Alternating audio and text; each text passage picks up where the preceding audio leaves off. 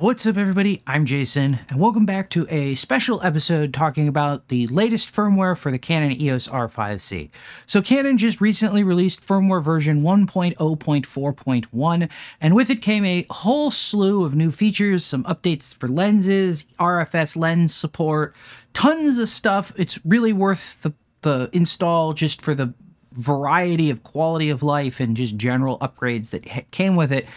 Uh, but the one I want to talk about in this video specifically is power saving mode. Uh, specifically, anybody who knows or who owns or who's looked into the R5C is probably aware that it eats batteries for lunch. And power saving mode is a, an effort by Canon to help curtail that to a limited extent. Um, Canon advertises 30% longer recording times, uh, I actually saw better than 30% longer recording times in the testing, so spoilers. Uh, but I kind of came about this from a, a completely different perspective, which maybe is not really fair to Canon. It's certainly not the perspective that I think most people would come at it about, but I was obviously interested in having seeing some savings in power, uh, but I was interested to see if this would have some other improvements in performance that weren't necessarily directed at power savings.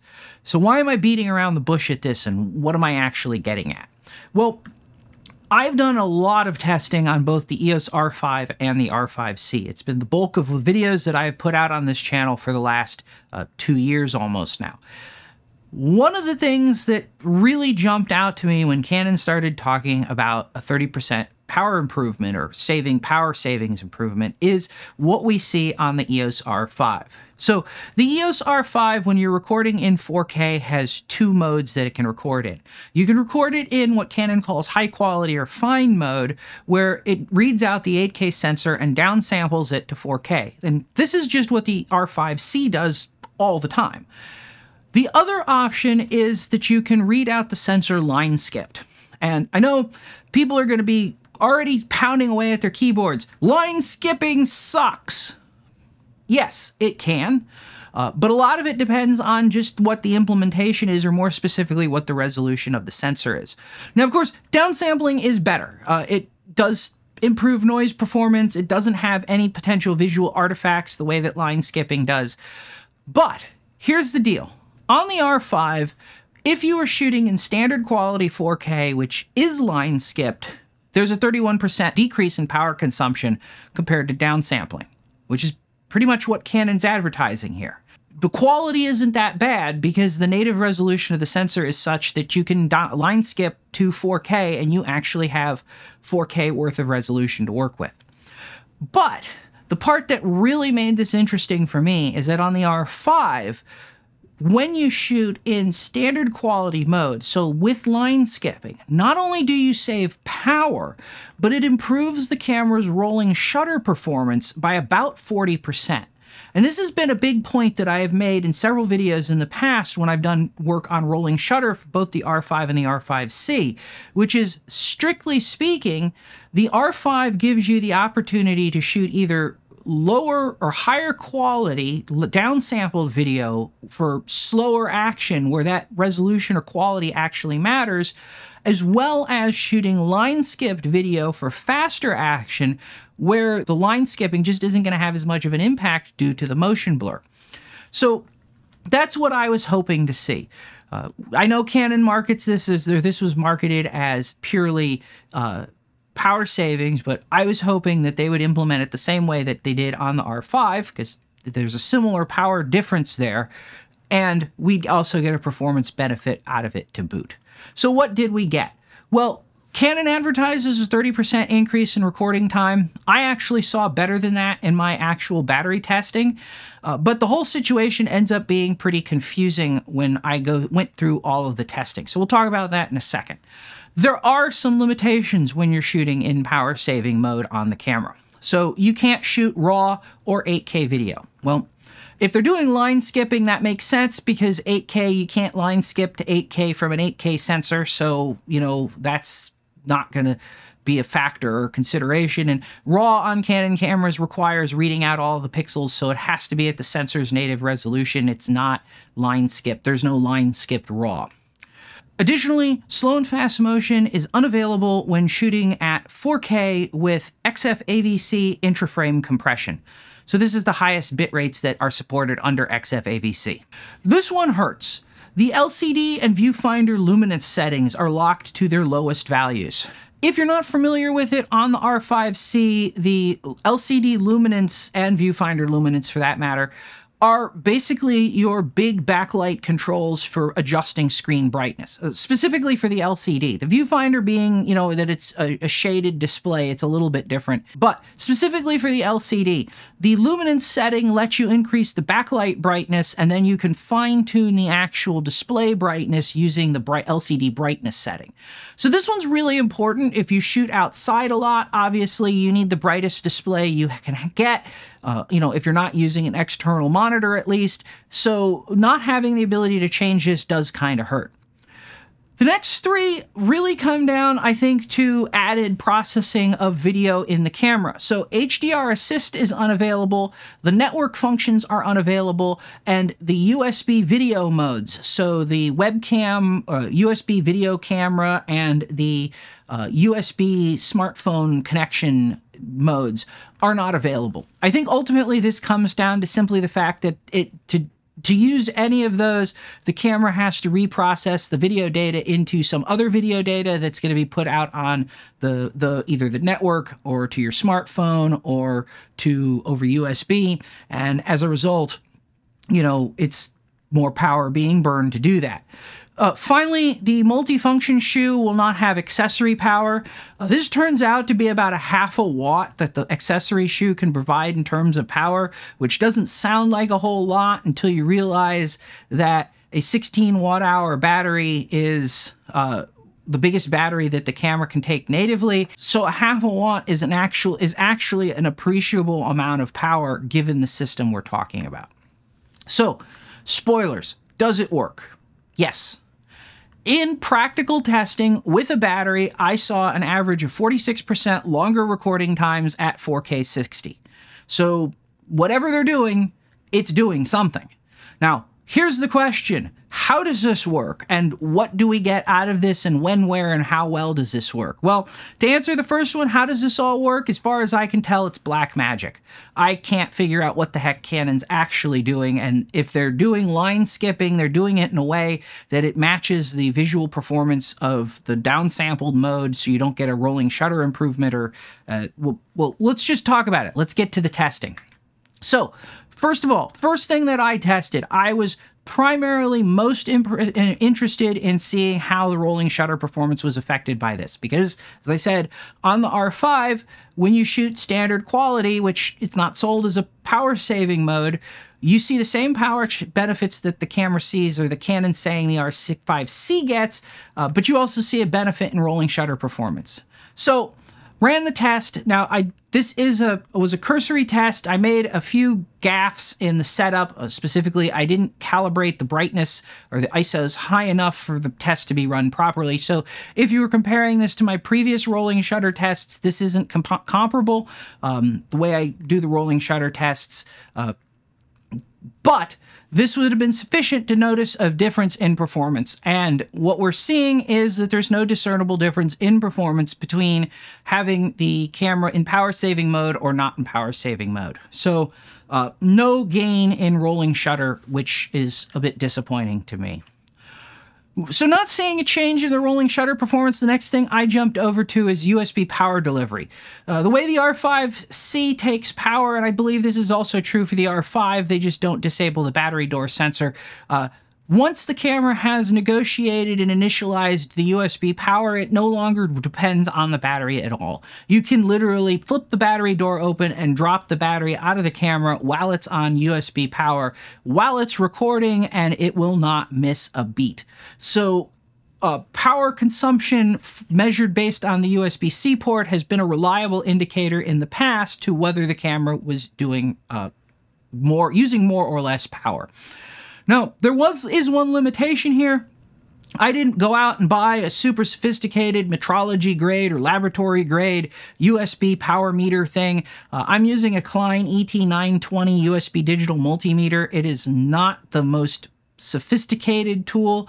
Uh, to compensate for its limitations, I ran these tests for more than four minutes, looked at what the test time was, looked at what the power consumption uh, was for that test period, made a, made my measurements as soon as the power consumption updated, and then backed that out to an average instantaneous watts. So this is the, what I saw from the, the power testing over USB power delivery.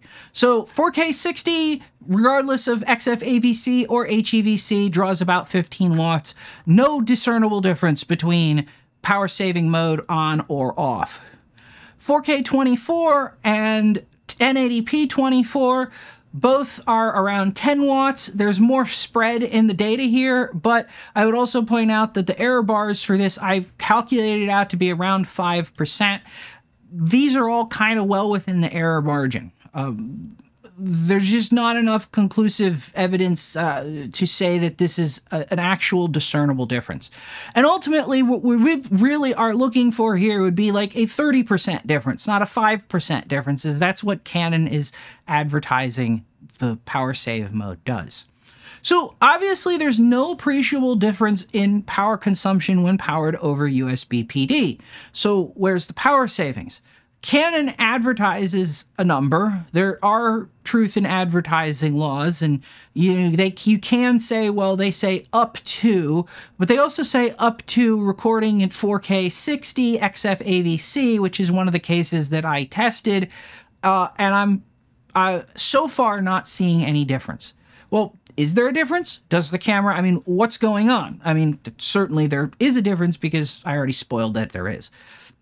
Now, one thing I did notice in the process of doing this is all of the camera on-camera battery life estimates, they do change. Uh, for example, with my camera set to 1080p 24 and HEVC compression, uh, an LPE6NH battery at 100% charge, so just off the charger in the camera, with power saving mode off, I see an estimated runtime of 62 minutes, and with power saving on, I see an estimated runtime of 80 minutes.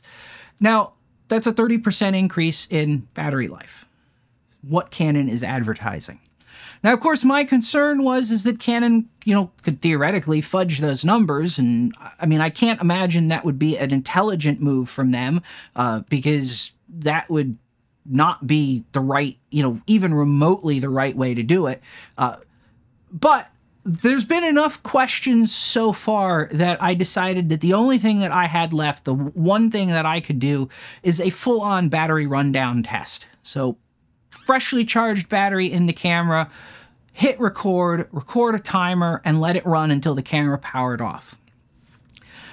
I didn't want to do this with my good batteries because, well, this is not exactly the best thing to do for your battery life or battery health. It's kind of hard on the batteries to run them down as far as they'll go before the camera turns off. Uh, so I did these with a pair of LPE6N batteries that I bought together in 2016. Now, yes, it was a pair of batteries. It wasn't the same battery used for all the tests.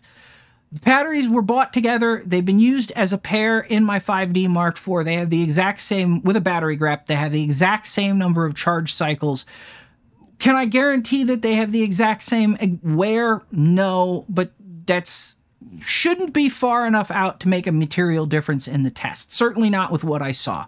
Now, I do want to point out, since these were LPE6Ns, they're only 14 watt hour batteries. If you're using the LPE6NHs, those are 16 watt hour batteries. They have 14% more capacity. Your run times should be at least 14% longer than what I actually saw here. So I did this test twice actually because I was so blown away by the numbers I got from the first test that I thought there there had to have been something wrong. I, I, had to screwed something up. So first test was 4K 60 XF AVC compression. Second test was 4K 60 HEVC compression. Why did I use different compression? Just to get a slightly different data point. This is what I got. For XF AVC with power save off, I got 22 minutes and 51 seconds of recording time. For HEVC with power saving off, I got 22 minutes and 26 seconds of record time. Turn power save mode on, and the XFAVC record time went out to 32 minutes and 5 seconds. So that's a 40% increase in recording time. And in HEVC mode, it went to 34 minutes and 13 seconds, which is a 52% increase in recording time. So on average, that was a 46% increase in record time. This also exactly reflects the kind of performance difference I see on the R5 between standard quality and high quality, which lends some credibility to that might be what's going on here. And it beat the numbers, or at least matched the numbers that Canon was advertising at 30%. Now I say beat or matched because depending on which way you phrase it, 30% or 45%, it, it ends up being the, the same difference. So what the heck is going on here? What's the takeaway? Well, Power saving mode does seem to work in practice, at least with batteries. What I'm seeing in actual like record on a battery performance, it's a bigger difference than I would expect from just a rounding error or test errors.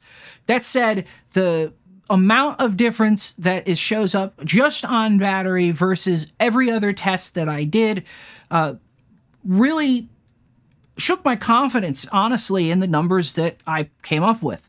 I went back, I looked at my test procedures, I went over things twice. It was the same kind of testing that I did for every other power test that I have done on the R5, the R5C, other cameras that are USB PD powered, etc. I, don't have a good explanation for that. It does seem like possibly if Canon realizes that it's powered externally instead of off of the battery, that it is not in use or not using as much power saving performance or capability as it could. Um, it seems like a really weird way to implement this. Like you would, uh, to me, implement the power saving across the board. So you turn it on, it just resets the camera settings for uh, line skipping, dispatch, etc., pixel dispatch. Uh, and it doesn't care what the power source is so that you would have a saving power savings whether you were on battery or external battery or whatever but that doesn't seem to be the case uh, it also doesn't seem to have any benefit in rolling shutter performance. That was the big thing I was hoping for. Uh, you know, not that everybody's going to use it or even I would use it all the time, but having the option I think is really beneficial. It's one of the reasons, again, that I keep saying that the, there's the, one of the benefits that I see in the R5 in some respects over the R5C is the ability to adjust the rolling shutter while still shooting full frame. So, yeah, that's the deal. Uh, that's my testing so far. If you have some experience with power saving, you're seeing completely different numbers, etc. Obviously, I can't re replicate every possible situation, and there's always the possibility that I messed something up or something like that. Uh, drop a comment below and let me know how your experience has been. Uh, I have not actually used power saving. Well, I don't hardly ever shoot off the battery in the camera at all. Uh, I use external power 99% of the time. Uh, so this is not something that I'm going to have any real field work or data on in the near future. Uh, but uh, I'd love to hear your experiences. Drop a comment below. I hope this was useful or at least interesting. If it was, let me know by hitting that like button. If this kind of thing seems like it might be your kind of thing, please consider subscribing if you're not already. And as always, thanks for watching, and I'll see you next time.